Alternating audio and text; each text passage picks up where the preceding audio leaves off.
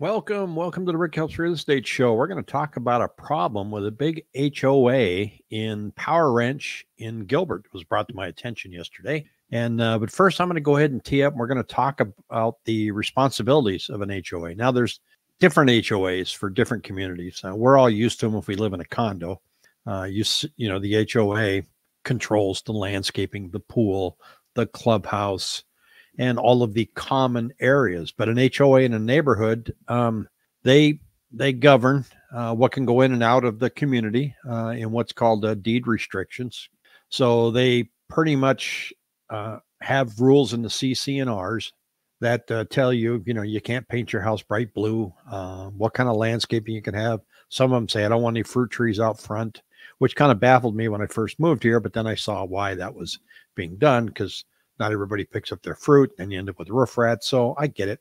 Uh, but they also want to control what goes in and out of the community. In other words, you don't want a convenience store in the middle of your your little gated community, so they control that as well. And then they uh, they like to govern and control exactly what type of buildings and uh, um, structures go into the community. So HOAs can be good in that sense, but sometimes they're a little over the top. Now, um, HOAs also get a bad rap because people, you know, you impose responsibilities for the HOA that they really don't have. Um, you know, there's, you know, people call to complain that, you know, my my neighbor needs to trim their hedges. Um, the, the dog is always barking. Um, you should be able to handle it on your own. You shouldn't have to bother an HOA board member for that. But I digress. So, what's going on in Power Ranch? Well, man, oh man. Um, they're embroiling a bunch of legal fees, and the homeowners really didn't know about it because you know who goes to an HOA meeting anyway, right? Homeowners upset at HOA for spending more than $167,000 in legal fees. So why is that? And they say it's uh, something like, oh, what is it, 10 times over their, but six times over their budget. So they did have a budget for, for legal fees. That's good for them. They've blown it out. Well, what happened was this developer came in and in 2019 and uh, was putting in luxury condominiums. So they're building the project to get it done. And then what happens? Well, um, we had that big cough going around, and uh, they were having a hard time selling the condos. So they converted them to rentals. I guess they can do that, but I guess the HOA said, no, you can't. You said you were going to put in luxury condos. We approved the project. You flipped the switch and said, now it's going to be rentals. We didn't want more renters in our neighborhoods. We wanted homeowners. Thus, they're suing them. Well, they have the right to do that, and they did. And uh, it's it's it's uh, you know they're being sued back, so it got pretty expensive. And uh, and it says here, I do think there needs to be more financial accountability on where the money's going, how it's being spent. Endless lawsuits. I don't think that's where most residents want the money to go. So you're sitting there as a homeowner and you're going, wait a minute, you know, you're supposed to maintain the the common areas, the grounds, and uh, um, and then lo and behold, our budget's shot. You're going to raise our dues because we're paying to sue a developer that put in an apartment complex instead of putting in condos. I think the money can be better spent. So it's a really a big, big deal out there. And uh, there's another controversy that was coming along out here. Let's see, when did this happen? Um, this one's in Val Vista Lakes. Arizona HOA wants to fine residents over social media rants. What? Yeah, they're going to fine you 250 bucks if you're not nice to them on Facebook.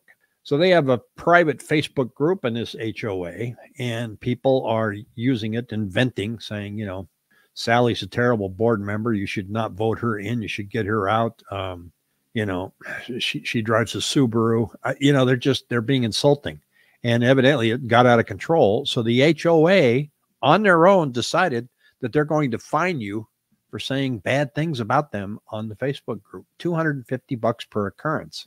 Now, can they do this? My simple legal mind says, Are you kidding me? But guess what? Uh, they says here, if the residents don't comply, they may lose facility privileges and incur fines of $250 per day, according to two such letters seen by the Arizona Republic. Val Vista Lakes is a upscale neighborhood near Greenfield and Baseline Roads. 900 acre water wonderland contains 24 residential subdivisions and community amenities and includes sport courts, sandy beach, according to its website.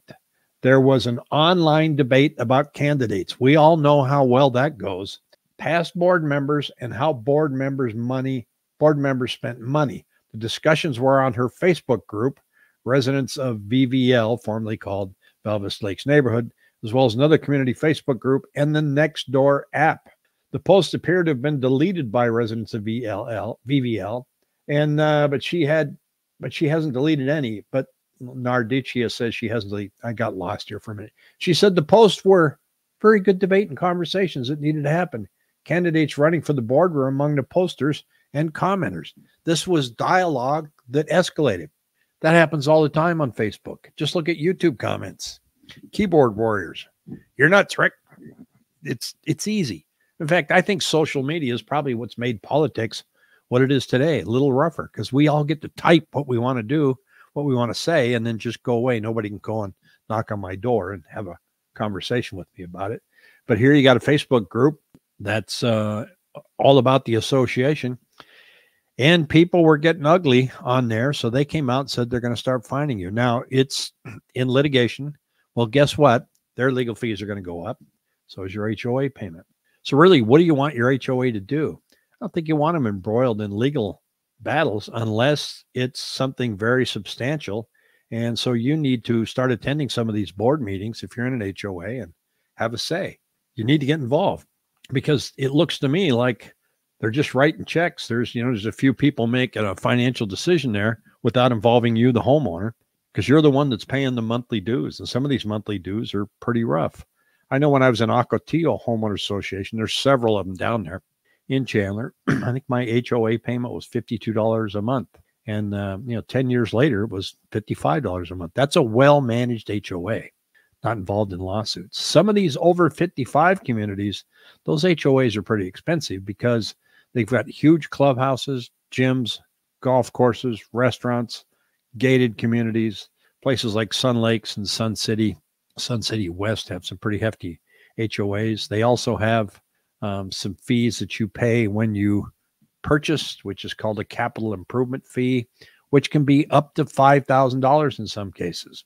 Well, what's that about? Well, it was decided a long time ago that with all of the turnover, people moving in, moving out in these over 55 communities, rather than constantly raising your HOA payment if they want to improve the clubhouse or improve the gym, they collect these capital improvement fees from the new buyers and put it in a capital improvement fund. And that fund grows and they're able to make improvements or maintain the facilities better without increasing your monthly payment. Makes sense, but boy, that's rough when you're going to buy a place. You've already got $4,500 in closing costs, you got your down payment, and now you got to pay $4,800 for a capital improvement fee. For some people, that's a little tough to swallow, but you know that going in. Um, but it does underscore that when you are going into a commu- community, it's got an HOA, during your 10 day inspection period, get a copy of the CC&Rs. They're supposed to provide it for you immediately within three days of your contract so that you can go over it and read it because that's when you want to know the rules. You can't park an RV here. What? I didn't know that. Um, you know, your RV can only be parked out in front of your house for 12 hours while you fill it up to go camping. You can't park it overnight. Are there parking restrictions on the street? A lot of them say yes, you can't park overnight on the street. Well, if I got family coming over for Christmas, can I still do that? So that's all going to be in there. And if you find it too restrictive, then get out of the contract. But make sure you read every line. I know it's boring, it's a big document, there's a lot of stuff in it, but that's when you want to find this stuff out. Ask the neighbors, how's the HOA? What's it like here? Are they kind of annoying? Are they great? Um, so you don't want any surprises when you're buying a home that's got an HOA. And some of them, people get in and then they start hearing from the neighbors after they've they've moved in just how restrictive they are and ridiculous. Uh, I, I saw not a confrontation, but I was down at Sun Lakes and they were having a big estate sale down the street. And so there are cars everywhere. Well, one of the neighbors put a couple road cones in front of his driveway because people kept blocking his driveway. He was coming and going, comes home, he can't park. And so the HOA golf cart guy, the patrol guy, comes up and goes, Hey, you need to move those road cones. You need to put them in the driveway. You can't put them in the street. He goes, Well, I got them in the street to keep you from parking here. They're just tiny little road cones. No, you can't have them in the street. And I thought, he said, The garage sale's over in 45 minutes. And I thought, you don't have anything better to do than just drive around and tell people they got to move these road cones. I think he had a great reason for putting them there. And so he just, rather than get into a heated discussion with the golf cart guy, he just picked up his road cones and he put them in his driveway. And then uh, didn't take long for somebody to park in front of his driveway. so you know, some some of them are power hungry. Some of them are great people. Um, I know sometimes they'll drive by and call you and go, "Hey, you left your garage door open." So there is, you know, it's nice having a patrol, but you're paying for that. You're paying these people to patrol around your neighborhood in some HOAs and some.